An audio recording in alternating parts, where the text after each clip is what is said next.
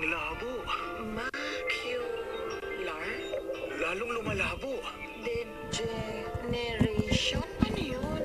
Ang makila ay parte ng retina sa mata na kailangan para makakita. Sa pagkasira ng makila, nanlalabo ang paningin. Isang kondisyon na may iwasan pag may lutin. Lutin na nasa Optin. Ang araw-araw na pag-inom ng Optin ay nakatulong mapangalagaan ang kalusugan ng mga mata. Iwasan